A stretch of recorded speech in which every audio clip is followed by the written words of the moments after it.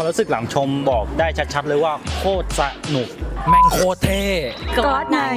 Yes my boss อุ้ยใช่เลย Yeah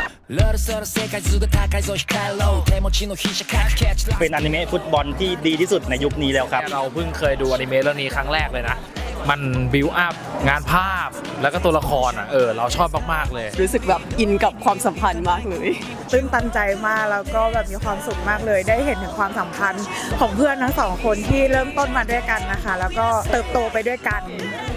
สนุกลุ้นแล้วก็มันมากจริงๆเคยไปดูที่ญี่ปุ่นมาแล้ว แต่พอมาดูที่ไทยอะค่ะมีความรู้สึกว่าสนุกขึ้นมากอีกเพราะว่าได้ดูซับไทยอย่างเงี้ยแล้วก็ซับแปลได้ดีมาก คือเคยอ่านมังงะมาแล้ว แต่พอมาดูเป็นอันเนี้ยก็คือแบบว่าเขาค่อนข้างที่จะเอาเก็บรายละเอียดที่มันเป็นเรื่องสำคัญสำคัญอะค่ะ ค่อนข้างครบถ้วนเลย มันเป็นแมทที่มันเคยฉายในซีซั่นแล้ว แต่พอมันเป็นมุมมองใน POE ของนางเงียคือมันทำให้เราสนุกมากยิ่งขึ้น และทำให้เราอยากดูต่อก็จะได้เห็นความเขาเรียกมุมของนายิกาเลโอในภาคนี้รู้สึกว่ามันมีรายละเอียดหลายๆอย่างที่เราดูแบบไม่มีให้ดูในภาคปกติอะค่ะ ถ้าไม่ได้ดูฉบับซีรีส์ก็สามารถดูเข้าใจได้ง่ายๆค่ะ เพราะว่าเหมือนเขาก็จะมีรีรันบางฉากที่มีในซีรีส์ที่เหมือนเป็นตัวที่สำคัญกับเนื้อเรื่องอะค่ะ มาในนี้เป็นแบบระยะระยะอะไรนะคะ ใครที่เคยดูบูล็อกบอกเลยว่าต้องห้ามพลาดคุณจะพลาดไม่ได้เพราะว่าเรื่องราวนี้ไม่มีในอนิเมะซีรีส์มีเฉพาะในมูวี่เท่านั้น ท้ายที่สุดแล้วการ์ตูนเรื่องนี้มันจะสถิตในใจของทุกคนครับบูล็อกเอพิโซดนางิวันนี้ในโรงภาพยนตร์